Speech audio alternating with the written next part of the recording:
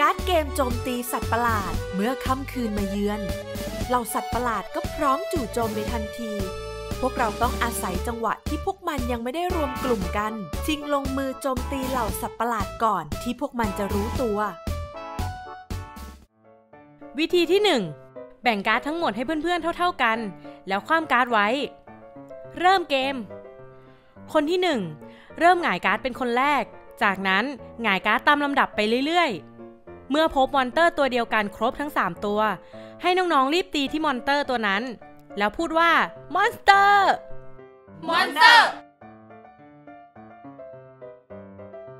คนที่เจอก่อนให้รีบหยิบการ์ดสามใบนั้น มาเก็บไว้ที่ตัวเอง แต่ถ้าน้องๆตีผิดตัว ต้องเสียการ์ดหนึ่งใบที่จับได้แล้ว คืนมาไว้ที่กองเป็นการลงโทษนะ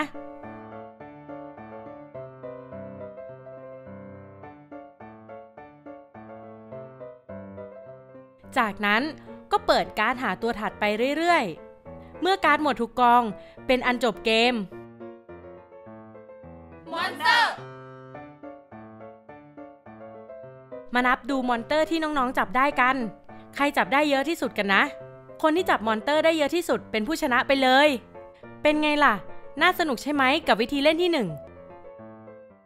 วิธีเล่นที่ 2 เริ่มเกม แบ่งการ์ดทั้งหมดให้เพื่อนๆเท่า ๆกัน คว่ำการ์ดไว้เหมือนวิธีแรกเลยนะ คนที่ 1 เริ่มหงายการ์ดเป็นคนแรก การ์ดของคนแรกนั่นแหละ monster สำคัญเลยนะ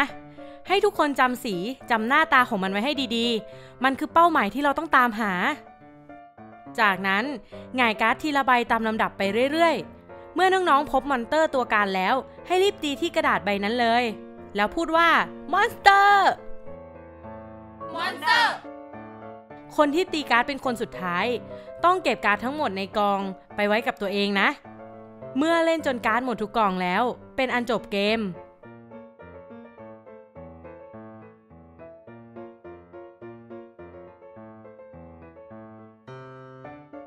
monster จากนั้นมาดูกันว่า ใครมีมอนเตอร์ในตัวมากที่สุด คนนั้นก็แพ้ไป จบไปแล้วกับ 2 วิธีการเล่น